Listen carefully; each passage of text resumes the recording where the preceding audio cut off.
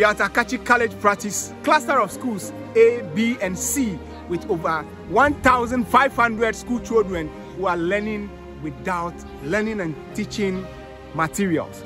These children are studying their hardest, but without books. They don't have storybooks, textbooks, and other educational materials.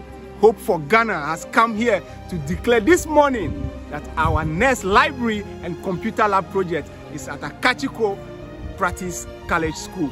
And Hope for Ghana in the coming weeks and months will bring lots of storybooks, textbooks, and other educational materials together with computers so these children will have hands-on computer training and they will have knowledge in ICT.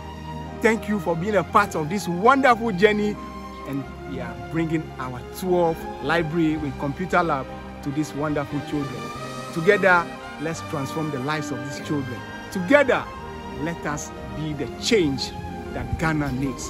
Thank you so much. Do we love this library?